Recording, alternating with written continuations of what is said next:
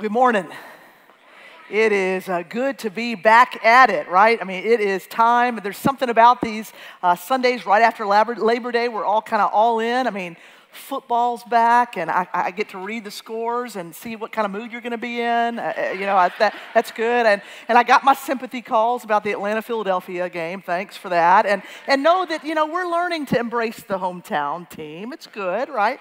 Uh, but fall around here, of course, means it's, it's, it's back to the kids' programming and one Sunday training, and uh, the new member class is going on right now. Lots of exciting things. And for me, uh, today is exciting because we're launching this, this new sermon series. And, and I, I pray about those sermon series. And as I prayed and, and thinking about, especially this first one, um, in perhaps the most strategic year of the history of our church, what was that going to be? And I kept coming back to grace.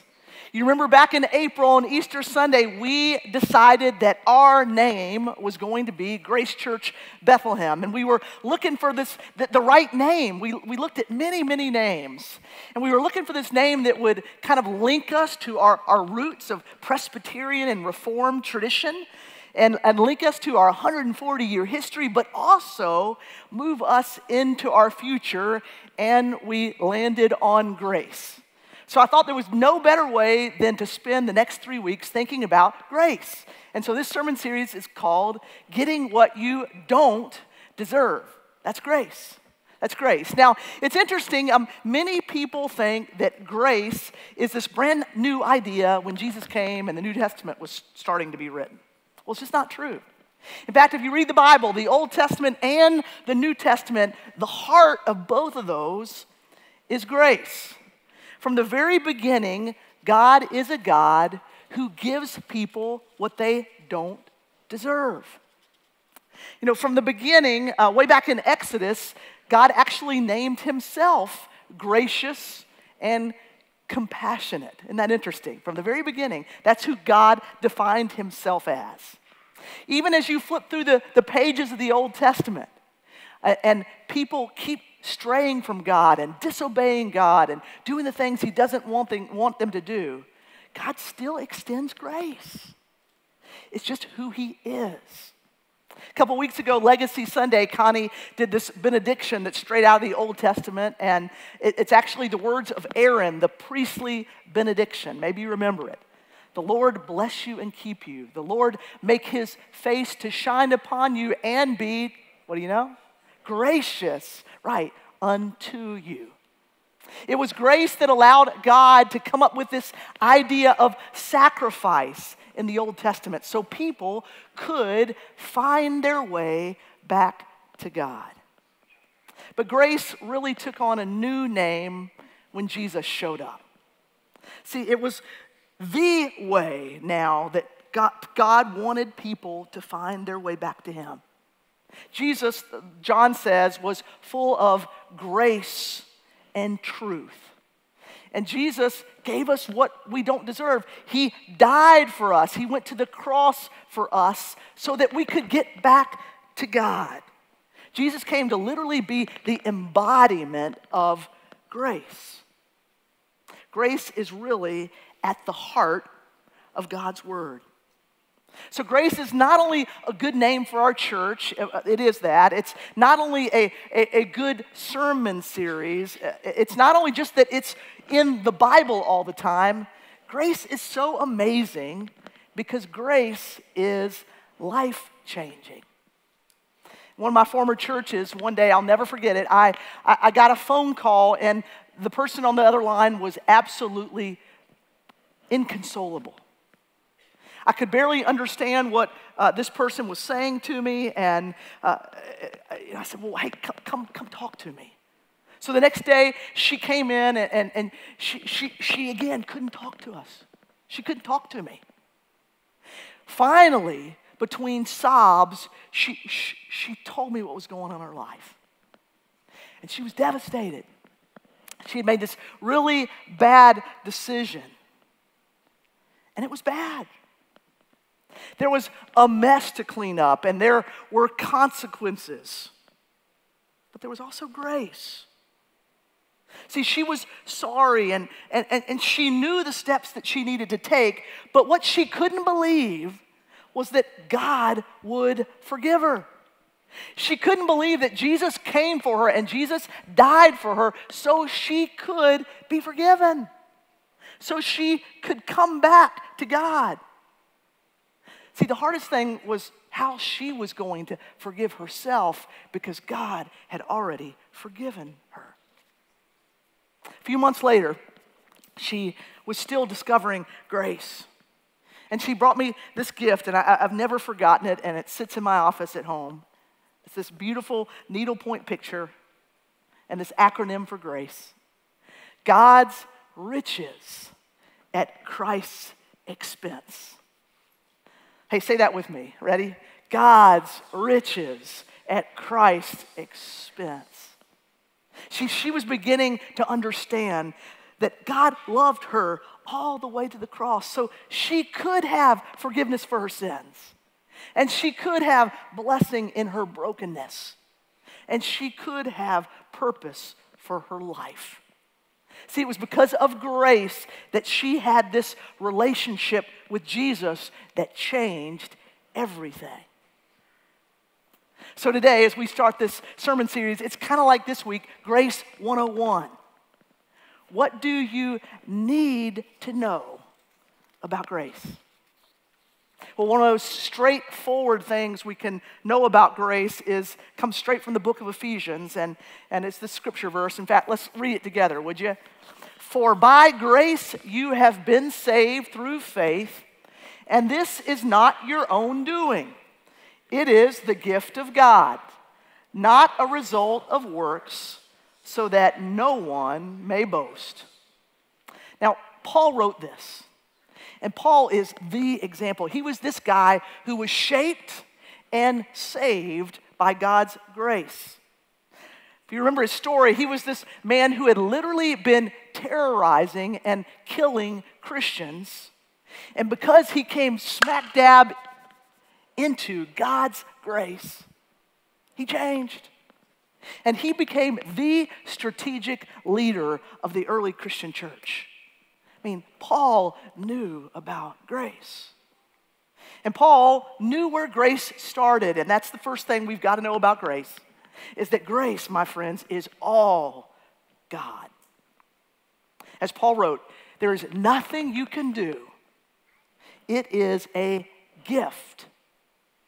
Now, we've talked before how Christianity is different from every other world religion. Now, every other world religion, you have to earn your relationship with God. You've got to work for your relationship with God. You've got to find it. You've got to make this relationship with God happen. But not Christianity, not Jesus. See, Jesus gives us the grace. It's God's riches at Christ's expense. He does for you what you can't do for yourself. Now, it's interesting, so many people miss this. And oftentimes, it's because people have a self esteem problem. Now, some of us have a way too high view of ourselves. And we think, well, I'm really too good for grace. I don't need it. It's unnecessary in my life. I'm really just fine all by myself. You know, I read about an interview with Michael Bloomberg, the former mayor of New York City. And, and in this interview, he was 72 at the time, and he was getting ready to go to his 50th college uh, reunion. And he was talking about how sobering it was that so many people had already died. Now, but Bloomberg, as he thought about his own death, he wasn't really worried. He started talking about his uh, work on gun safety and on obesity and smoking laws. And, and he said this in an interview with a smile on his face. Here's what he said He said, I'm telling you, if there's a God, when I get to heaven, I'm not stopping to be interviewed. I'm heading straight in. I've earned my place in heaven. It's not even close. Now, other people have a different kind of self esteem problem And that's that they have this really, really low view of themselves. Some of us can't imagine that God would give us anything. We don't want to get anywhere close to God, not uh, because our life is a mess, and we know that God's not going to deal with things that are this messy as us. Back in the 20th century, there was this um, competition that a newspaper ran, and uh, people were invited to give responses to this question What's wrong with the world? Well, a lot of responses came in, but one became famous, and it was written by a, a famous English writer by the name of G.K. Chesterton. Here's what he wrote He said, Dear sirs, I am sincerely yours, G.K. Chesterton. What's wrong with the world? G.K. Chesterton knew that he was. See, if you understand grace, God's riches at Christ's expense, this is your attitude. You know you don't deserve it, but that's the point. You also know that it doesn't depend on you, it's all God. See, you don't deserve it, but God gives it anyway. It's who God is, it always has been. God loves you. God pursues you. He will do absolutely anything to have this relationship with you. Grace is all about God. But you cannot fully grasp God. You cannot fully get grace until you understand how desperately you need it. See, all you need is this, this, this desire to receive grace, and God gives it. But you got to know you need it.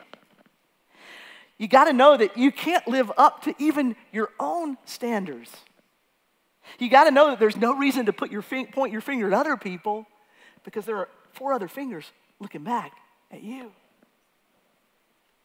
Here's the truth God is that good, and you are that bad. Now, if you're thinking, well, uh, I'm not that bad, then you're never going to experience how good grace really is. Because to embrace grace, you have to get honest about your life. And that's the next thing you need to know about grace. Grace is all about God, but grace is also so personal. You know, this week, the world can't get enough of this moment that, that changed a girl's life. Her dreams came true when she got exactly what she needed and exactly what she dreamed for. It was a gift that she couldn't get on her own. Here it is. All right, well, there's one more gift. We have one more. It's not for Grammy, but it's, yeah, it's another gift.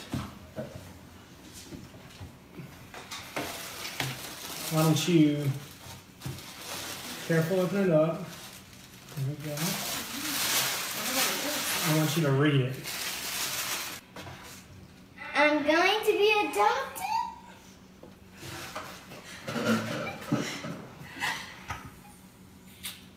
We love you, sweetheart.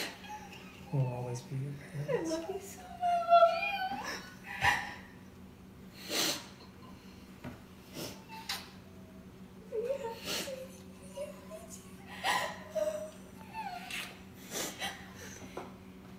We love you, sweetheart. We'll always be your parents. Okay? You're, we'll always be your real family. Mm. you. I get to take care of you, protect you, and and Lisa too. I love you so much.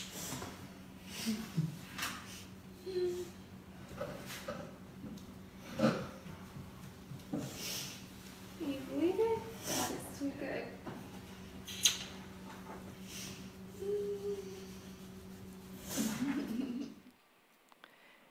I've seen that video a bunch of times.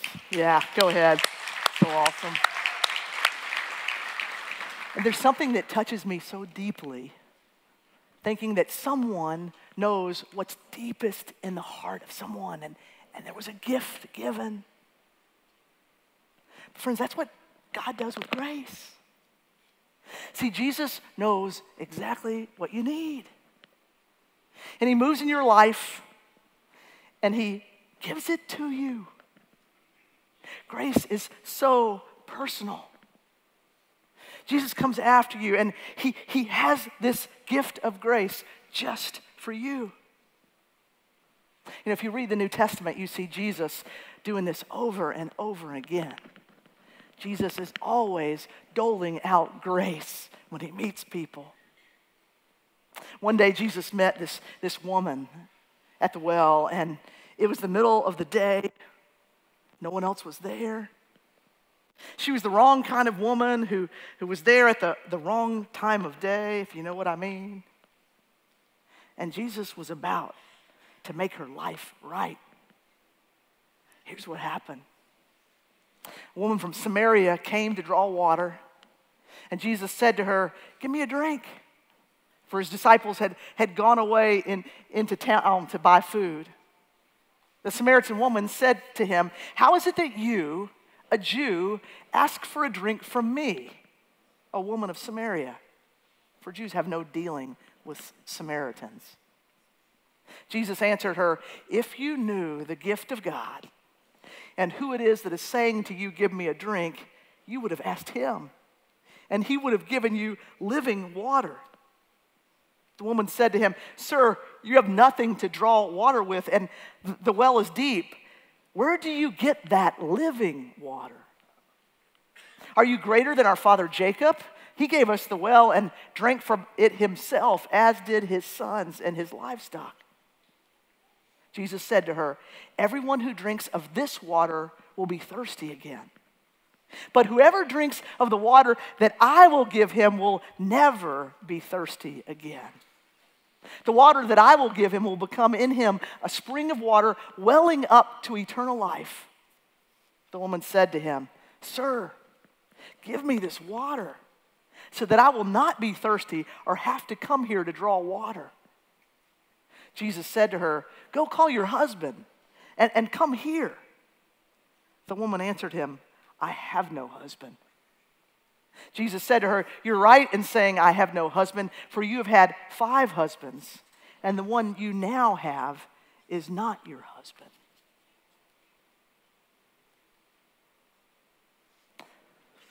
Jesus asked this woman for a drink, but he knew that he was the one who's really going to give the gift. See, Jesus had grace. He knew this woman was thirsty for something she couldn't even figure out. Her first marriage didn't give her what she wanted, and her second one, and her third one. She thought that those things were going to make her life better. And then Jesus walked in. And Jesus told her the truth. He told her the truth about this mess that was her life. But then he gave her a gift. He gave her grace. You know, if you were to meet Jesus at the well and nobody else was there, what would Jesus know about you? What would he see that nobody else can see? What hurt or pain or brokenness or sin? Would it be your anger? Or your slippery slope of, of boundaries at, at work? Or the person you're living with who you barely even talk to? Or your addiction with, uh, with porn or, or alcohol? Or your debts, or your doubts, or your fears, or your, your failure, or your, your, your grief, or your shame, or maybe your anxiety that is absolutely paralyzing you. Well, I don't know what it is. but Jesus does. And your life and my life and the woman at the well's life have something in common. And please hear this if you hear nothing else from me today. There is nothing in your life that is greater than God's grace. Nothing. See, here's the way Paul said it. Read this with me. Even greater is God's grace. Read one more time. Even greater is God's grace. See, Jesus knew all about her life. He knew all about her serial relationships. He knew all about her shame. He knew all about her longings. And, and Jesus could have just walked away from her. I mean, everybody else would have. But he didn't. Not Jesus. See, that's, that's grace. That day, she came face to face with grace. And she got what she didn't deserve. She got grace. See, Jesus invited her to see the truth in her life. And then he invited her into something so much better. See, here's what happened next. His disciples came back and, and they marveled that Jesus was talking to a woman. The woman left her water jar and went away into town and said to the people, Come see a man who told me all that I ever did. Many Samaritans from that town believed in Jesus because of the woman's testimony. They said to the woman, It is no longer because of what you said that we believe, for we've heard it for ourselves. And we know that this is indeed the Savior of the world. See, grace changes people's lives. Grace doesn't just leave us alone, it takes us where we're supposed to be. See, grace changed this woman's life, but it, it didn't even stop there. God used her life to change a whole town. He used a broken woman to get all kinds of other broken men and women to meet the grace of Jesus. And that brings me to one more thing Grace 101. Grace works. See, God gives us grace so your life is changed. Many of you know uh, the story of the hymn Amazing Grace. It might be the most loved hymn of all times. Um, in fact, you don't even have to go to church to know the words and, and, and, the tune of Amazing Grace. You may know the song, but you, you may not know the story of the man who wrote it. His name was John Newton, and his life was a wreck. His mom died when he was seven years old, and his dad was this rough, tough ship captain and that's kind of the environment that John grew up in. He found alcohol early and he very quickly abandoned the faith that his mom had tried to give him before she died. He had no interest in God. And after getting kicked out of the Navy, he actually, through a turn of events, became a slave.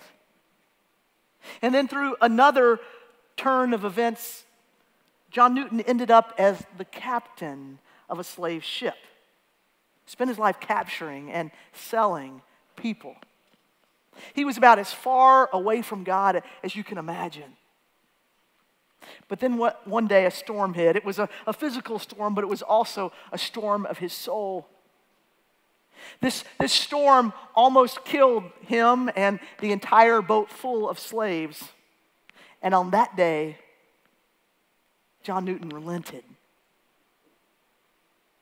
He gave his life to God. But if you read his story, it actually took a while to sink in. Even though John Newton wrote the words, Amazing Grace, it actually took a while for him to get it. It took years for the grace to break into his life. But eventually, John Newton the slave trader, became an abolitionist. The man who hated the Bible began to study the Bible. The man who ran from God ran to God's grace. That's the guy who wrote Amazing Grace. Here's the words on his tombstone John Newton, once an infidel and libertine, a servant of slaves in Africa, was by the rich mercy of our Lord and Savior Jesus Christ preserved, restored, pardoned, and appointed to preach the faith he had long labored to destroy. Grace changes lives. See, Jesus never leaves you where you are, but he gives you this gift of grace and he invites you to what's new. just a few minutes, we're going to take communion together. And I want to give you a way to think about God's grace in your life. A few minutes to prepare your heart and to, to pray and, and, and get ready to receive the gift of communion. And um, to help you, I want you to hear Aretha Franklin sing Amazing Grace. Now, long before R E S P E C T, oh, hang on, stop it, stop it. Hang on. Close, you're getting a pre- preview. Long before R S P E C T, Aretha was singing gospel music. In fact, that recording and that album is the best selling live album ever. Well, it was interesting. Aretha wanted um, to record that, but she didn't want to do it in a studio. So she uh, asked her producer, she said, I want to actually sing this in church. But it didn't stop there. She said, Not only do I want to sing it in church, but it's going to feel weird if it's not a worship service. So I want to sing that amazing song as a part of a worship service. The pastor said it was just like any other worship service they ever had in that church. Of course, Aretha Franklin was a soloist, right? Well, her funeral, just a few weeks ago, many people mentioned this incredible recording. And someone said of her singing that day as she recorded Amazing Grace, they said of her, she was not the Aretha in lights that you see on the stage. She was just Aretha, our sister singing for the Lord. Now, as we get ready to take communion, I invite you to hear this song. I invite you to experience and remember in your own life. It's bigger than anything you have, friends. It's amazing.